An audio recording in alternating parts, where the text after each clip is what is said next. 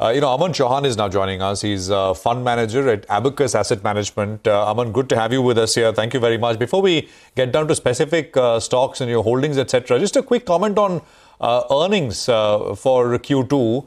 Uh, you know, the point is, um, banks did okay, autos did okay, but commodities largely, etc., there was disappointment as expected. But we're not seeing any earnings upgrades, even in banks, actually, even in autos, right? Earnings are there for those two sectors, but not getting upgraded, right? At the end of the day, that is what matters for uh, for markets. If uh, the earnings cycle is, is picking up in a way which is better than expected. What's your sense? What was your reading? Uh, yeah, it's a right observation that earnings upgrades have not happened. I think the biggest reason for that is the world is too volatile and there are too many moving pieces. So if you're exporting and if you're exporting to Europe, you're significantly impacted. If you're exporting to US, you are mildly impacted. Within Europe also, if it is UK, then you are slightly better off than Germany. In case your product is a import substitute, then you're better off. And too many moving pieces. And similarly is the case with China. If you're importing raw materials from China, you got impacted when the prices were high. Now freight rates are down, prices are down. So now you're benefiting out of it and margins are improving. So it's all over the place and that is the reason i believe the analyst community and even the investment community has not got full grip as to where the numbers are headed.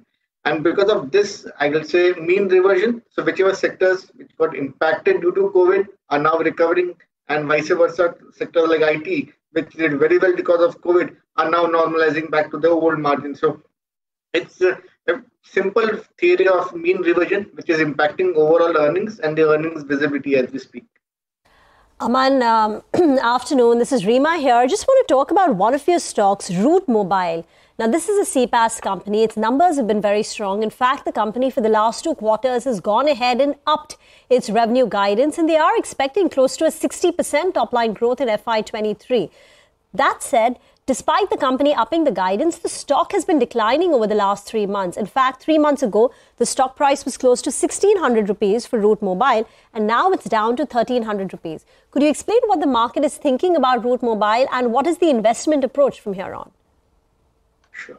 So, Rima, while we don't comment specifically on stocks, broadly I can tell you that the biggest factor impacting stock price performance is the Nasdaq.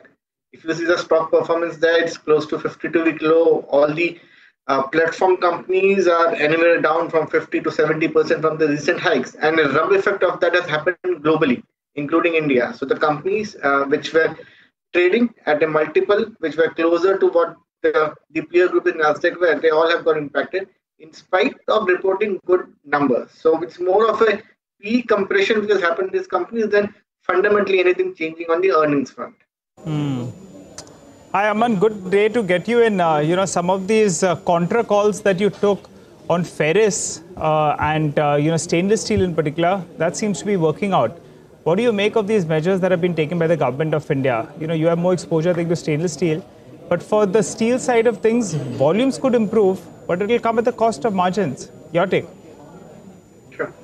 So our exposure on ferrous was predominantly on the valuation front, where the cash flows have been so significantly positive over the last few years that most of these companies were able to reduce the debt substantially. So even if at lower steel prices, the net earnings impact was quite positive. Uh, there was a time last few months where steel stocks didn't do well because of the government uh, restrictions. But now that coming off over the weekend, it's back to normal business for most of these companies. And the sentiment which got impacted a few months back is now reversing. So uh, it was not a contra call for us. It was more of being patient that uh, when things are down, when there's a bit of uncertainty, but if you're convinced that uh, the company uh, is on the right path, just hold on to it till the news flow changes, which happened over the weekend. And now, uh, hopefully, we are looking forward to better times. Mm. you know, another one which is uh, kind of you know the uh, one of the top holdings is uh, HCL Tech, and I just wanted your thoughts, uh, Aman, on uh, whether uh, you think there is there is more pain, or I mean, is this a position that you're willing to sort of buy into as prices fall, or you think the worst is behind mostly now? So HCL is a decent combination for us. It's a good value as well as growth stock Uh, there was an interim time when they had the big, large product acquisition and which dragged overall margins as well as uh, the growth profile for the company.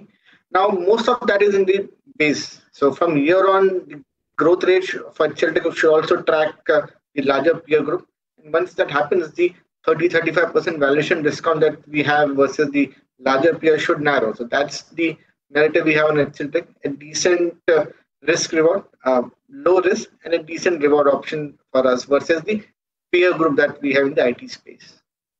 In the large cap private sector banking space, um, there is there has been a shift away from ICICI Bank, which has already performed exceedingly well and outperformed its peers, to other banks like HDFC Bank, marquee banks. But there is a little bit more in terms of a relative headroom, given the way HDFC Bank has underperformed over the last three years. Would you subscribe to that view? Because ICICI Bank is one of your top holdings. Uh, yeah, uh, it's been one of the best performing stocks, and people are started to look beyond ICICI, which is now a consensus trade, and look at relative valuations. So the number three player or the number four player is almost 20-25% discount to ICICI, and that makes it interesting.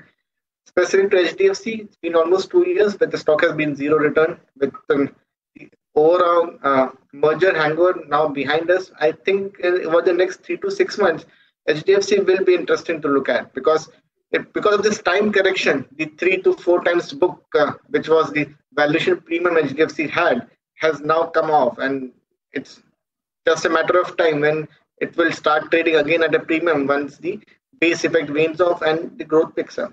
You know, Aman, what are you all doing with a couple of these uh, companies that have exposure to Europe? Namely, uh, you know, one of them could be a CRISIL. Things are in a tizzy out there. You know, they're sounding a little bit cautious as well. That's been a big wealth creator. On stocks like these, if you'll get a dip, you'll be looking to add more because these troubled times are not going to last forever. Exactly, we have a similar view that in the near term, the demand has got impacted because the consumption spend in Europe has taken a severe beating. Uh, when it will happen, we don't know whether it is one month, two months, three months, or six months, or it could be even longer.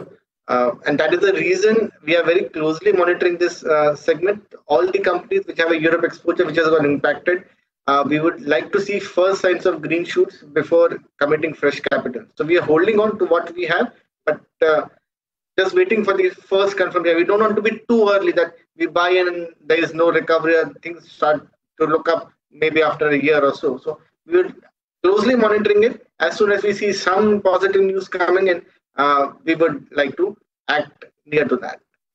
Mm. Uh, okay. Anything you would like to, uh, anything you're uh, sort of doing currently in this, I shouldn't say fall because it's barely been uh, any, although in broader markets, uh, Aman, a lot of stuff has come off quite sharply, right?